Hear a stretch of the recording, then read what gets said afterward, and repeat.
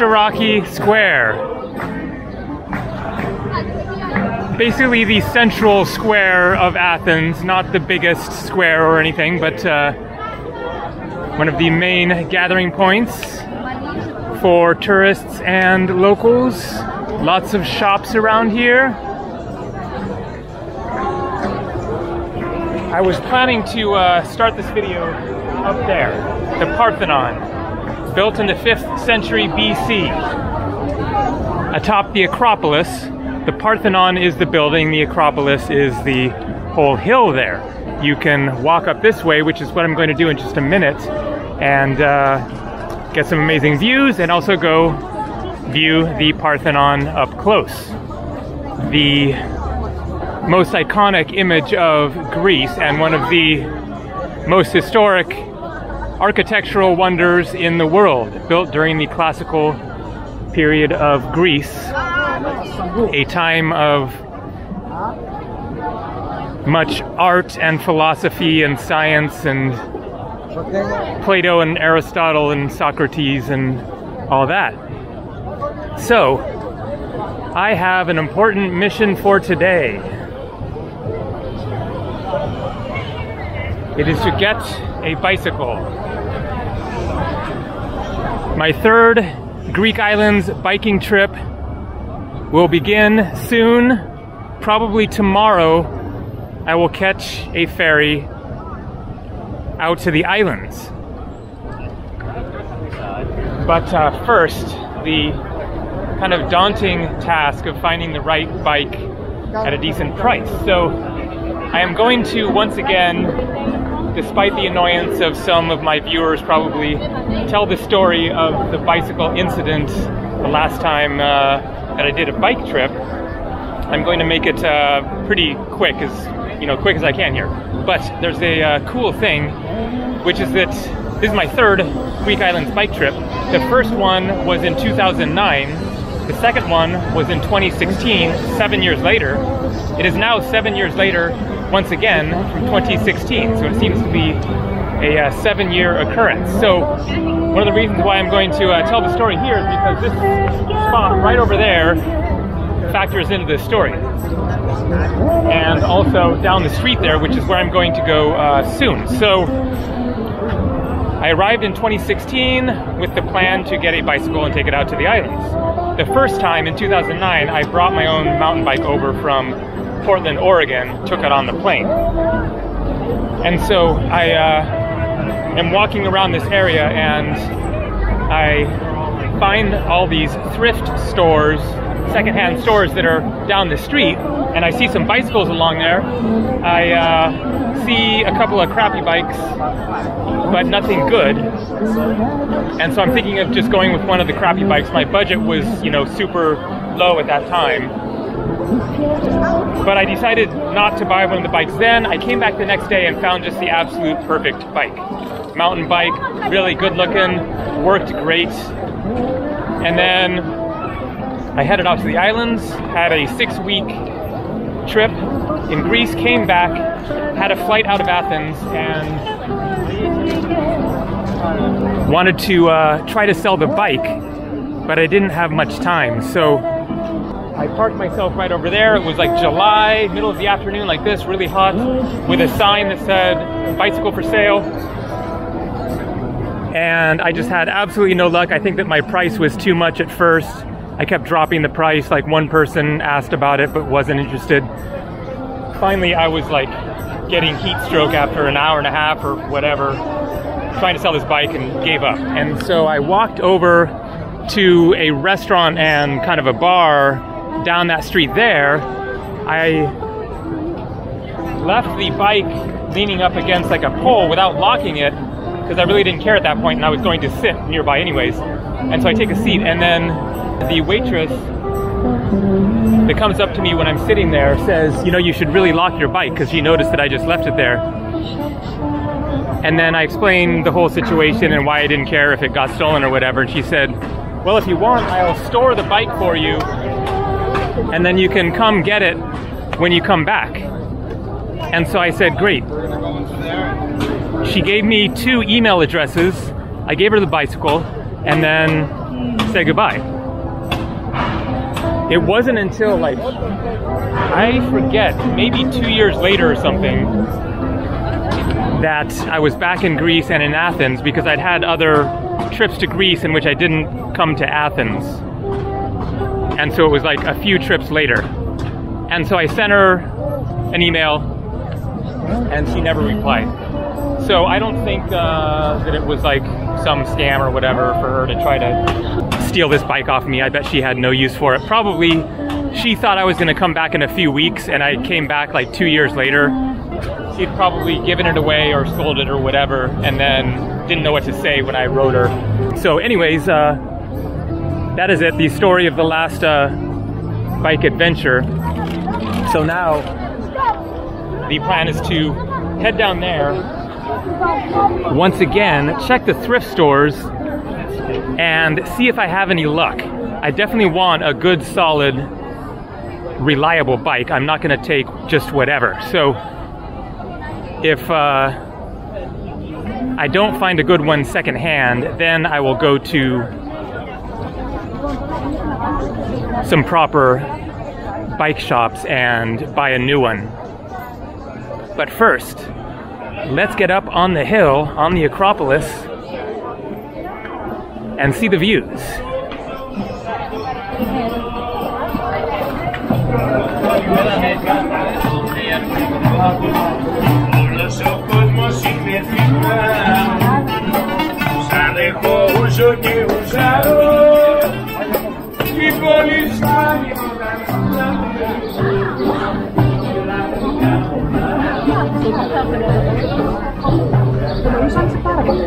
More of the ancient ruins here.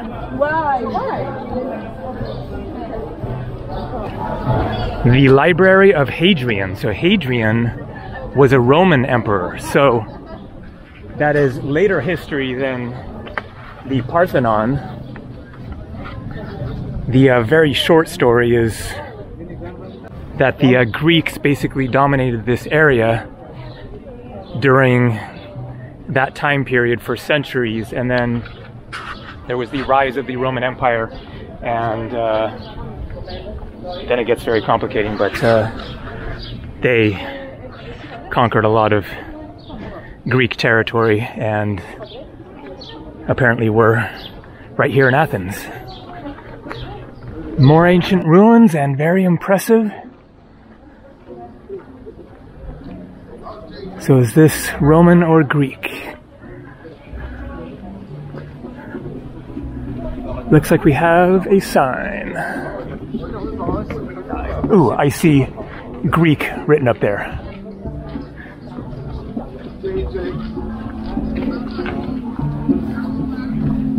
But it's a Roman agora. Agora is marketplace.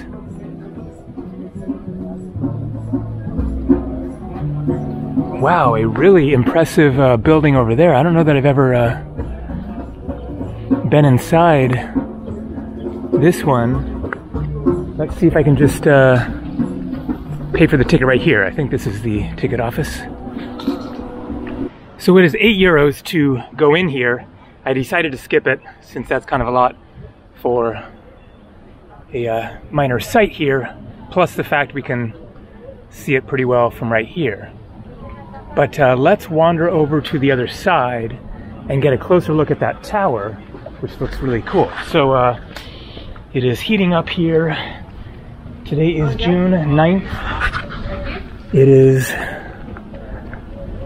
currently 86 degrees Fahrenheit. That is 30 degrees Celsius. A good, solid, proper, sunny, summer, warm day. So yay for that.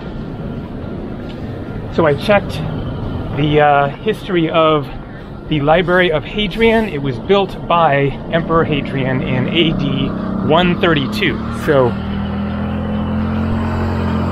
these ruins are probably the same era because they're also Roman as opposed to Greek up there. And of course, there are lots and lots of other Greek ruins scattered all throughout the city. So it's just this jumbled mix of different empires and phases of history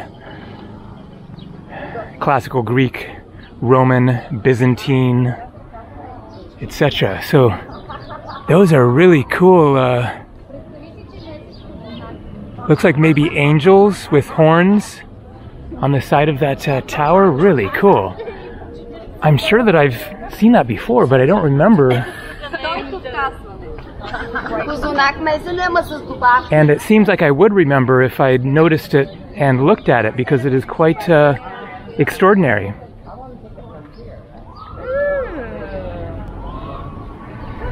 Seems like from that corner it looks real good. Look at that. Maybe I just never happened to walk around here specifically and always went up this way or something.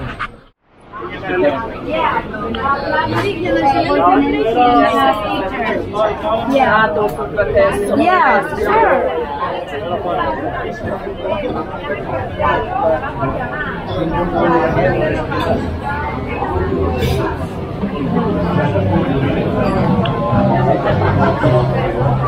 This is classic Greece, these uh, little shaded dining areas.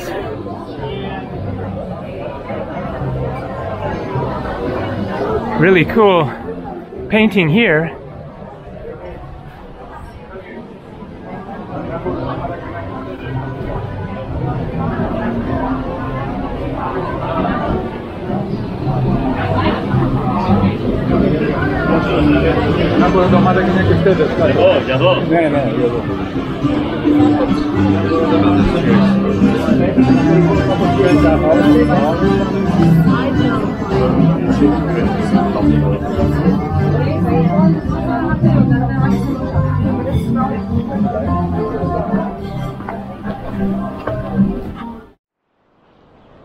And so this is where I was trying to get to. There is the ticket office if you want to go into the Parthenon. I'm not planning to do that today. But I wanted to get up onto this hill with the ultimate view of Athens and the Parthenon.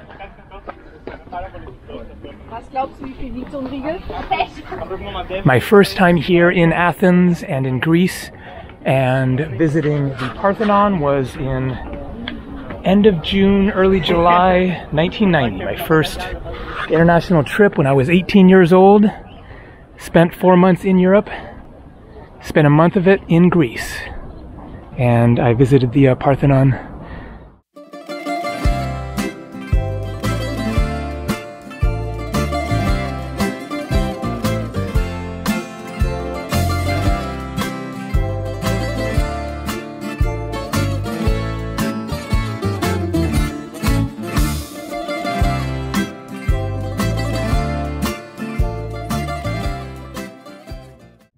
So this is called Areopagus Hill.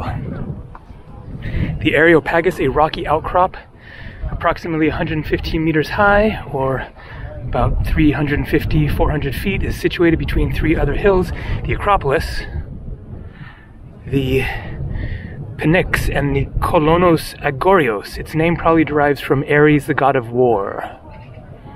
In the Mycenaean and Geometric periods, 1550 to 700 BC, the northern slope of the hill served as a cemetery which contained both chamber tombs and simple cist graves. From the 6th century BC onwards, the hillside as a whole became a residential quarter belonging to the prestigious district of Melite. Late Roman period, 4th to 6th centuries AD. The Areopagus is also associated with the spread of Christianity into Greece.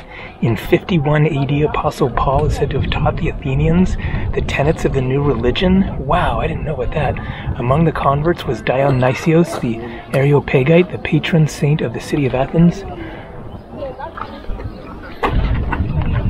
So, a whole lot of history around here, and you can see it in the rocks in how smooth they are as a result of millions and millions of sandals walking over these rocks for thousands of years. They are extremely, extremely slippery, especially you can see right there, it's all shiny.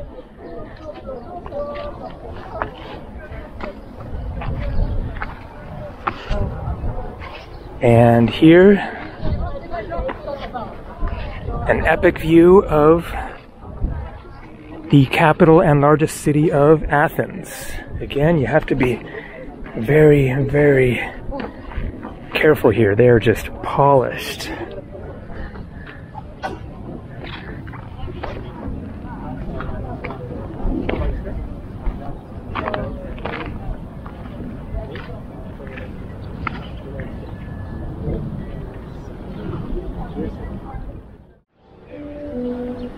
Another shot of that cool tower and the Acropolis and Parthenon. Greek flag up there.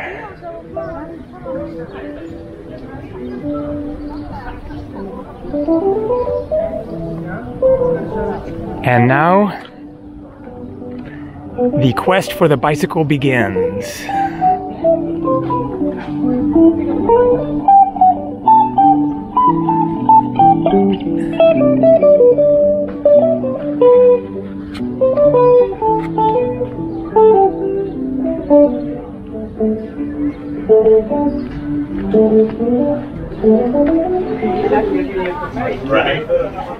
Bicycle, oh bicycle, where art thou, bicycle? Not gonna find it here, that's for sure. But let's uh, walk through the market here. Definitely not an authentic Greek market, but uh, a good spot for some shopping and nice and cool.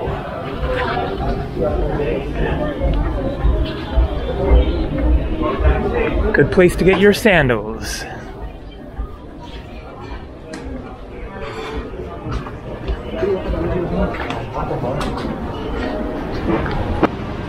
So, Monastiraki, in the Greek language there, Monastiraki Square is just right there. And then down here is where I found the bicycle the last time. But that was seven years ago. It looks like we do still have the secondhand shops, but the bike that I found was right along here out on the street. Here you have antique furniture shops. Not looking good for bicycles so far.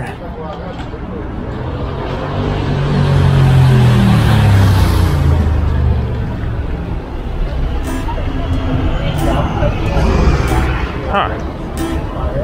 This seems to be kind of a whole secondhand area which I don't know if I've ever actually walked through before. Very interesting. Boom, a bicycle. Not the one that I'm looking for. A one speed, rusted out, flat tire, flat tire. That is funny. Well, bicycle found, but uh, that is not gonna do the trick. Books aplenty. Scooter. Motorbike. Bicycle wheels. Oh no, those are, well, they might be bike wheels. A cart.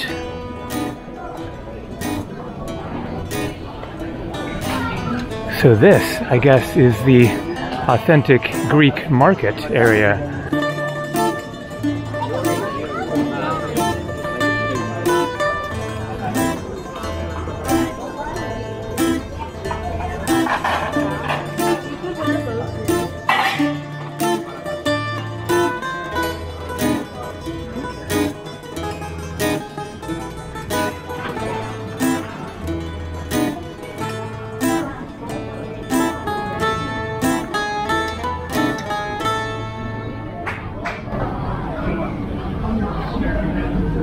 Another bicycle, probably owned by somebody.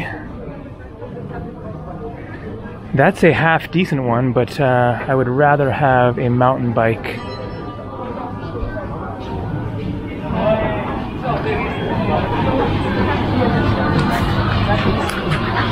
Look what we got. Circo's bikes. Okay. 520 euros. That is what I was not wanting to pay. Especially since I will probably be stuck with it when I get back from my trip and in the same position, unable to sell it. I could stay in Athens for a few days trying to sell it or whatever, but uh, wow, these are expensive.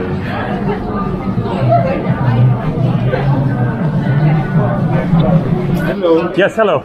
Welcome. Thank you, thank you.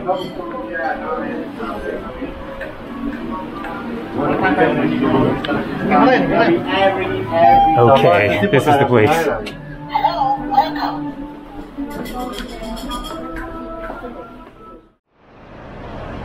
And boom, sold. So the price was 380 euros, but he gave it to me at a discounted rate of 300 euros. The helmet was 65 euros, but he gave it to me for 35 euros.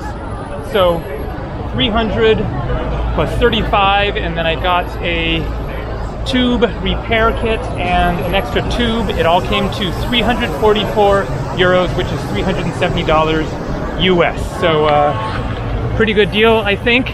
It is titanium. But there was one that was steel. It was 265 euros. This one is the better, lighter kind of uh, material. Pretty good looking bike there, brand new, all ready to roll. So the only little thing is that I forgot to bring my bicycle lock. I have a bicycle lock that I travel with, and so it is back in my room. But I'm really hungry and want to go to a restaurant and take a seat, get out of this hot sun. This is the exact spot where I was trying to sell the bike back in 2016. And so uh, I'm going to have to find somewhere where I can just leave the bike right next to me as I sit and eat. So let's go back into the uh, shaded areas back there, lots of uh, cool restaurants, and find somewhere to get some Greek food.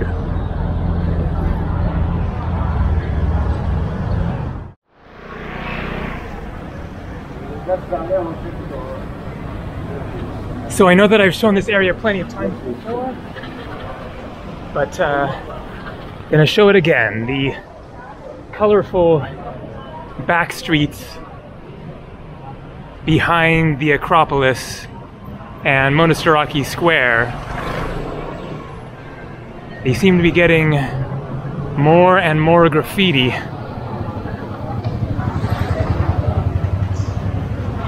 But it is interesting back in here.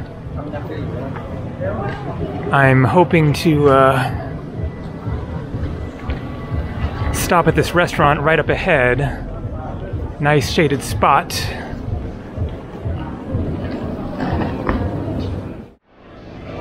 And check it out, this restaurant has an amazing beer selection.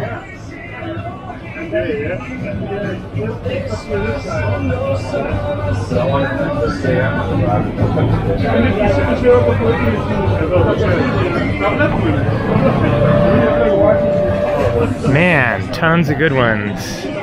Oh yeah, these are all some of my favorites.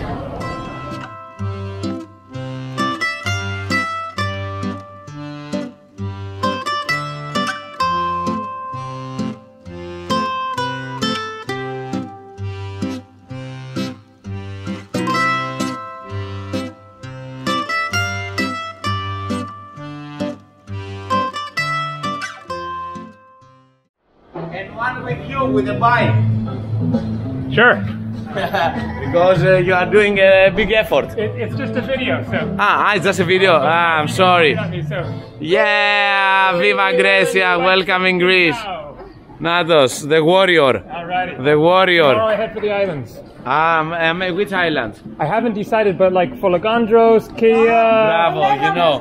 Idra. No, after Folegandros, if you go Folegandros, go Koufonisia also. This is this is what I plan. Yeah. Dun- Danusa, Iraklia. Donus Heraklia Koufonisia, but Exactly. bravo, you know. Exactly. You know the life. That is the plan. Exactly. I've been to Santorini, Mykonos. Time to go to the others. Exactly. No, uh, give them to go uh, the other. Exactly. They can take all the tourists. Exactly. Thank you, man. Have a good one.